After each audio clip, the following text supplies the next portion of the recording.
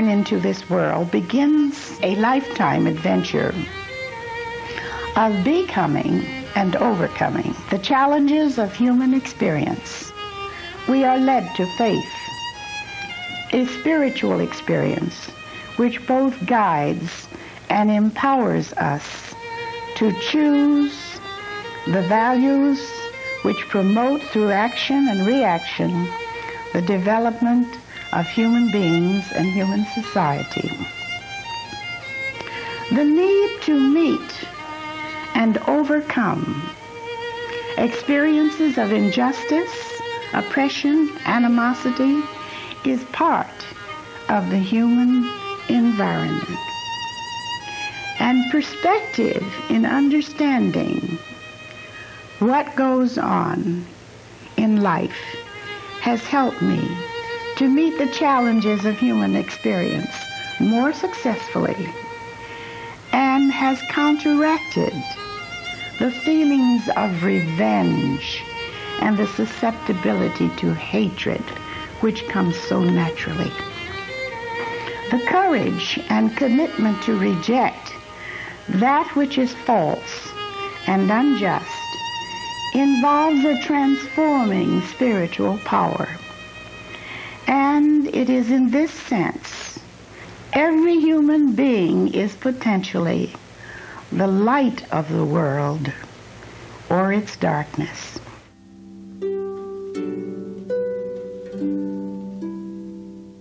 Dr. Helen Elsie Austin was an extraordinary woman whose place is secure in both the history of America and of the Baha'i Faith.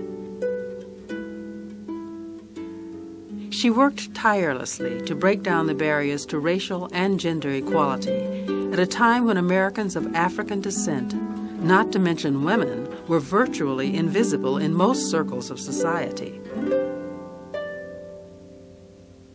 Her life is a distinguished record of American firsts.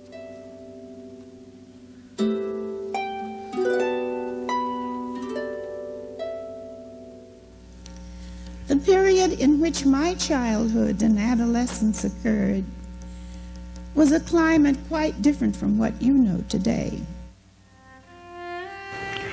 That was a time when there were no laws to protect the individual or a community of minority status. For an African American, there was a daily encounter with rejection, danger, and persecution based on prejudice and hostility. African American survival in this period was based on using the defenses they had developed during the period of slavery.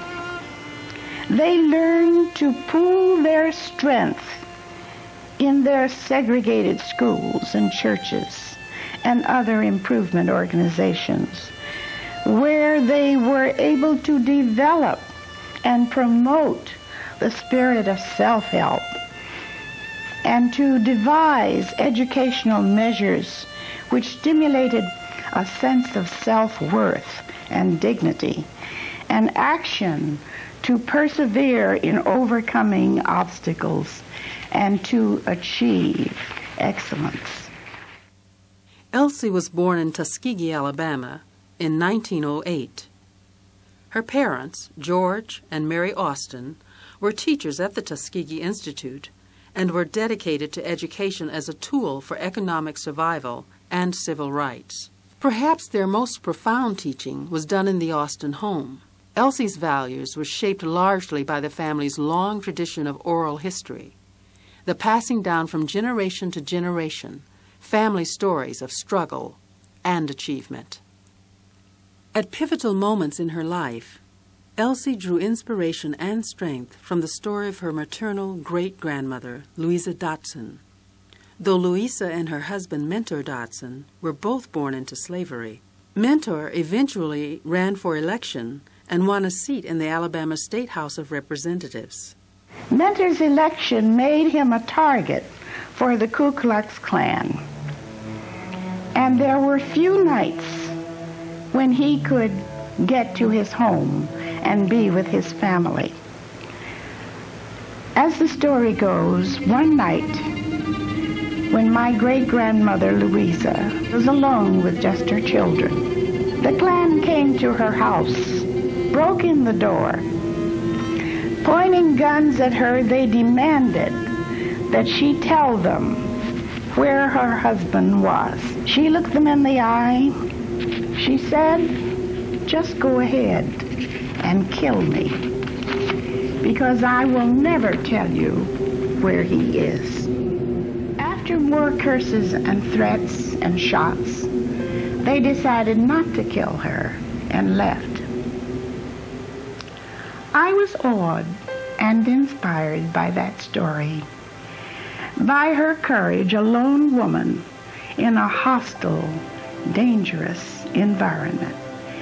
And her determination not to give in to injustice and oppression, even at the risk of death. And I have in certain incidents of my life been reminded and relied upon the memory of her courage and her strength.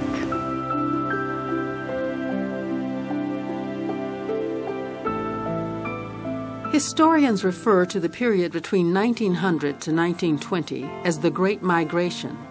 Within two short decades, more than 500,000 African Americans left the South for jobs and opportunity in northern cities.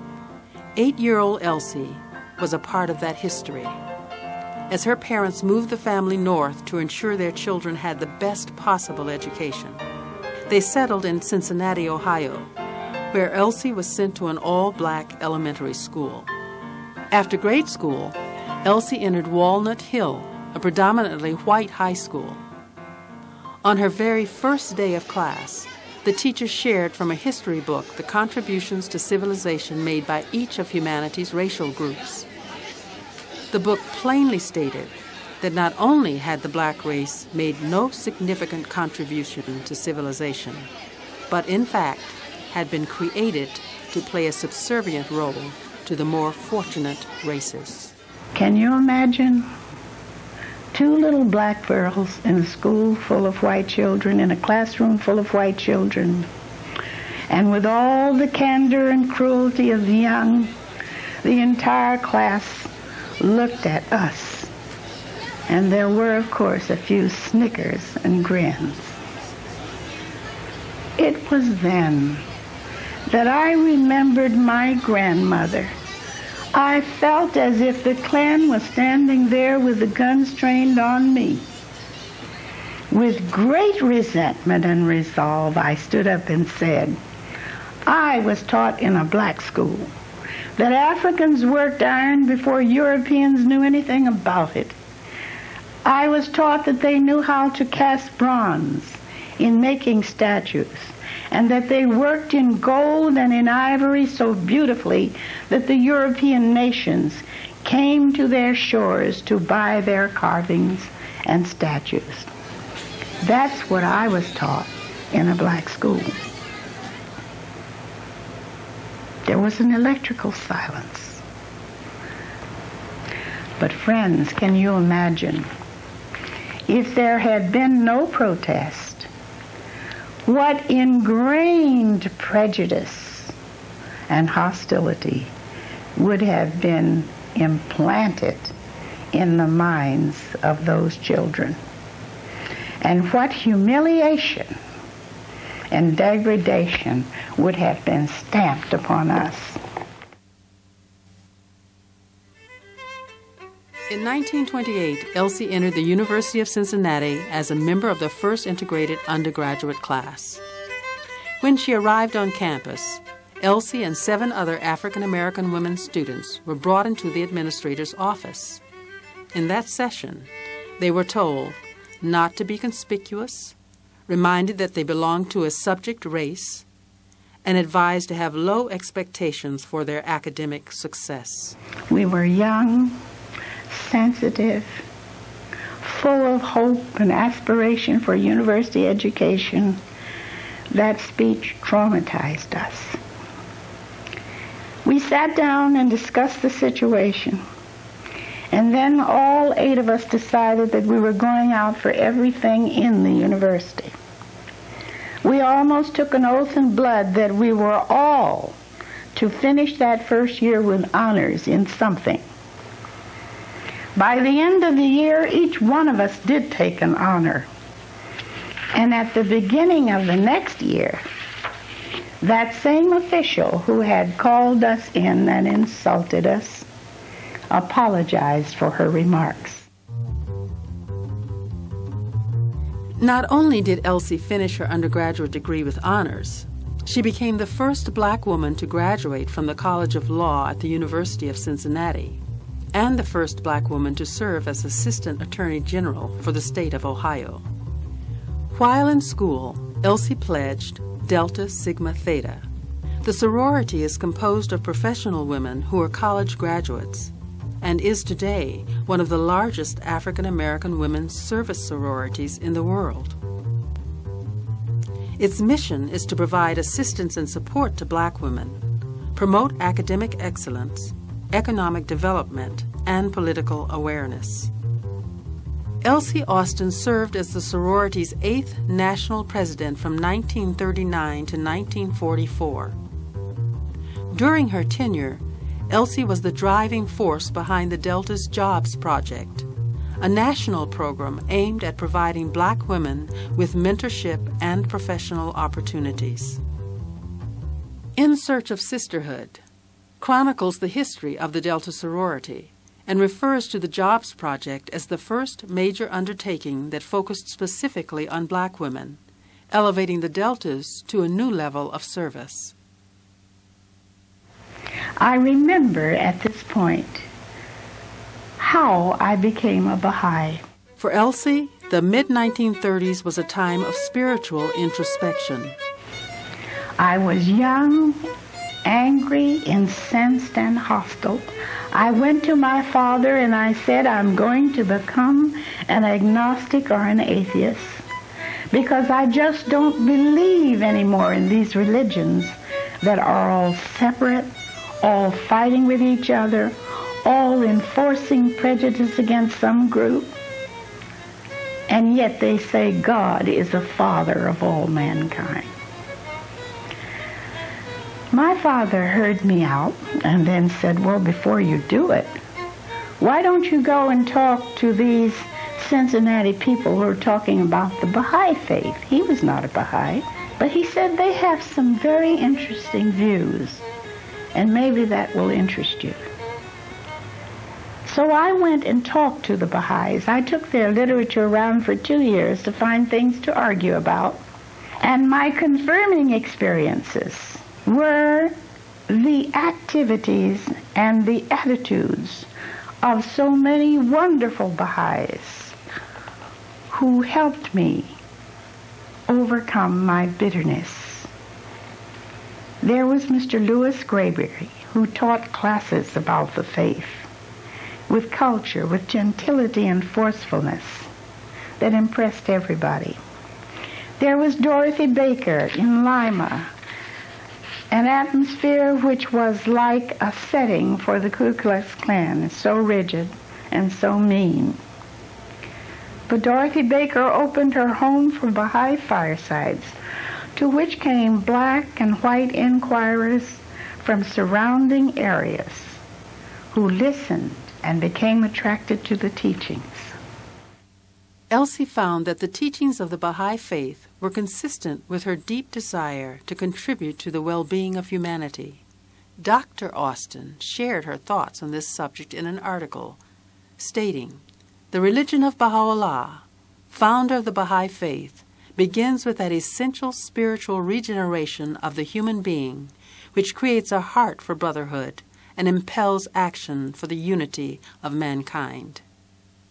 Elsie became a member of the Baha'i Faith in 1934 and just 12 years later was elected to the nine member national governing body.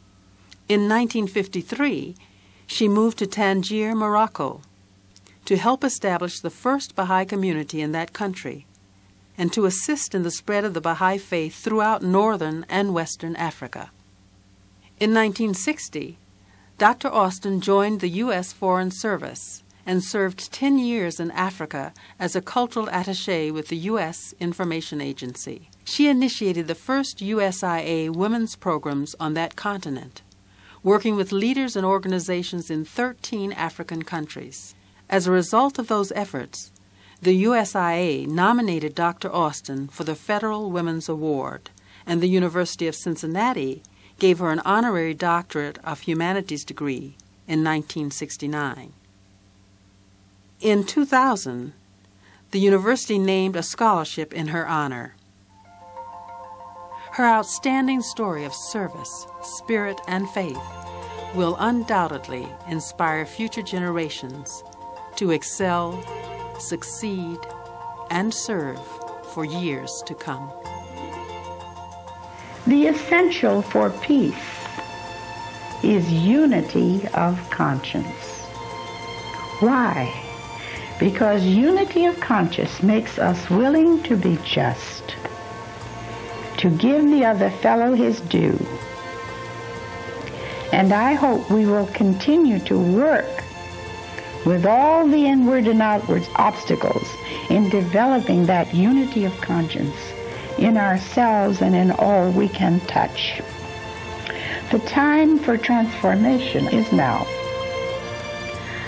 I think there is a Baha'i prayer that can offer us guidance, strength, and determination. It is prayer which talks about protest. It talks about faith and it talks about progress. And it goes, quote, O God, aid thy servants to raise up the word, to refute what is vain and false, to establish the truth, to spread the sacred verses abroad, and to make the morning's light to dawn in the hearts of the righteous. And I don't know what we're waiting for, but we should be galvanized into action because now is the time, as the saying goes, if not now, when?